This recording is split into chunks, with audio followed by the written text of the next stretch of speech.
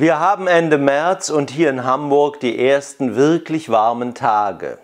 Die Bienenfliegen haben ihren Reinigungsflug bereits absolviert. Sämtliche Gegenstände im Umkreis von 10 Metern waren braun gesprenkelt und jetzt tragen sie Nektar ein und Pollen, aber es hat seit Wochen hier nicht mehr geregnet und deswegen ist es wichtig, Bienentränken aufzustellen. Denn Völker, die brüten wollen und brüten sollen, die brauchen viel Wasser. Hallo und herzlich willkommen bei hausbiene.de. Mein Name ist Benjamin und hier bist du richtig wenn es um das Imkern mit der Honigbiene geht und dir nur ein einziger Bienenstand zur Verfügung steht. Bei den Bienentränken gibt es ein paar Dinge zu beachten. Und was das ist, das erklärt euch gleich unser Herr Koch. Servus miteinander. Also, erstmal braucht die Biene Schwimmhilfe in die Biene trinken, damit sie nicht ertrinken. Beispielsweise eures Laub wie bei mir. Ihr könnt aber auch anderes Zeugs hernehmen, Holzstückchen oder Korken von den Weinflaschen, was weiß ich. Dann sollen die Bienentränken nicht neben die Völker stehen, also mit einem gewissen Abstand, weil da kein Bienenkot fallen darf. Wann die Bienen losfliegen, werfen sie einen Ballast ab und der sollte nicht in ihr Trinkwasser fallen. Und auch nicht soll die Getränke unter am Dach stehen, beispielsweise die Regentonne, wo der Dreck und all das Vogelkacker vom Dach gespielt wird vom Regen. Das soll nicht sein. Und wenn ihr das beherzigt, werden eure Bienen weniger krank, weil sie weniger Kot aufnehmen und das mit dem Durchfall in die Völker das Video kennt ihr ja schon.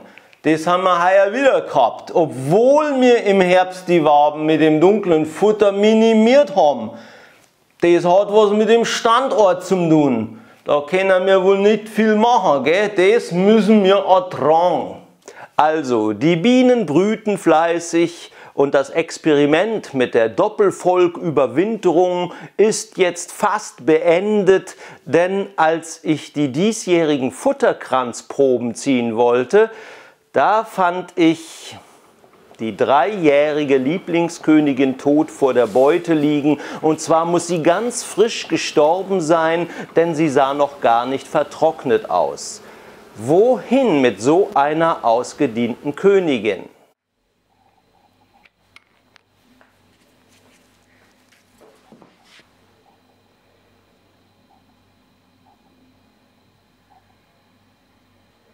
Zu den anderen in die Flasche mit dem hochprozentigen Melissengeist. 79% Alkohol steht auf dem Etikett.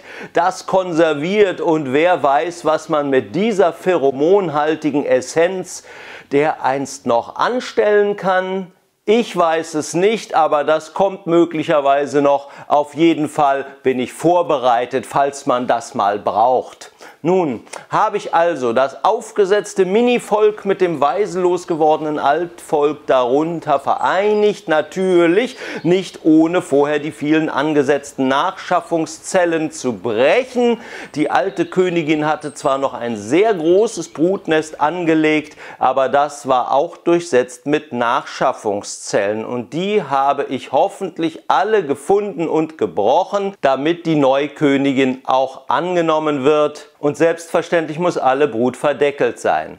Ob das Experiment nun geklappt hat, sehen wir im nächsten Video. Jetzt lasse ich die Einheit erstmal eine Woche lang in Ruhe, aber dem Bienenflug nach zu urteilen, sieht es gut aus.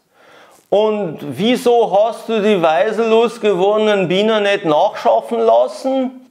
Das war doch so eine pfundige Königin, von der zieht man doch nach. Du hast doch so geschwärmt von ihr.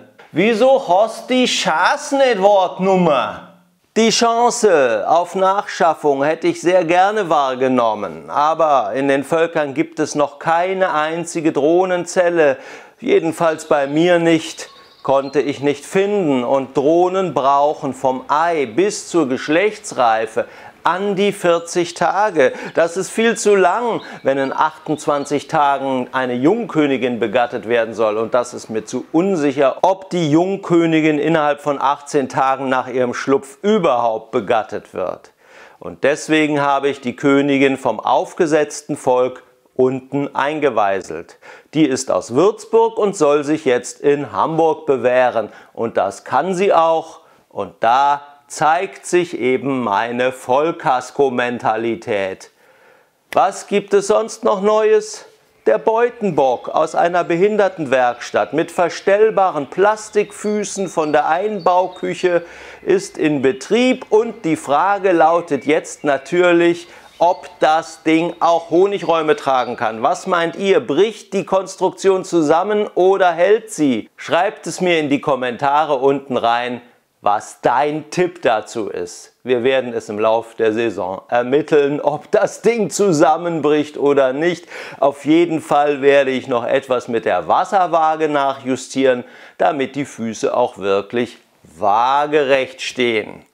Es ist noch früh im Jahr und es wird auch noch wieder kalt werden, vielleicht sogar mit Schnee im April. Also die Honigräume müssen noch warten. Jetzt geht es erst einmal um das Ergebnis der Futterkranzprobe. Drückt mir die Daumen, dass wir hier die Null als Resultat bekommen und ansonsten gebe ich stark brütenden Völkern eine Mittelwand zum Ausbauen, denn Jungbienen wollen bauen und damit sie das können, gibt es eine Mittelwand hinter eine Futterwabe, die ihrerseits Kontakt zum Brutnest hat.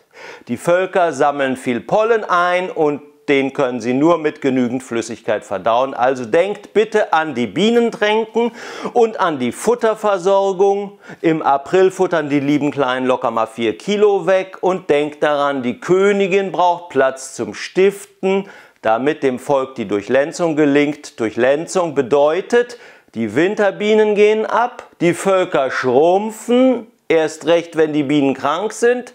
Die Sommerbienen werden mehr und mehr und mehr und sind am Ende des Tages dann zahlenmäßig überlegen. Die Frage dabei ist nur, wer trägt die Frühtracht ein? Winterbienen oder Sommerbienen?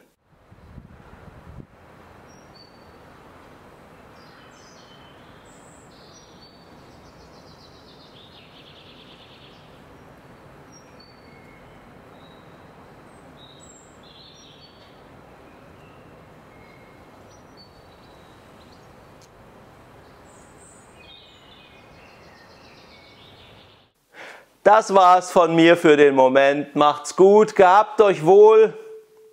Ciao, ciao.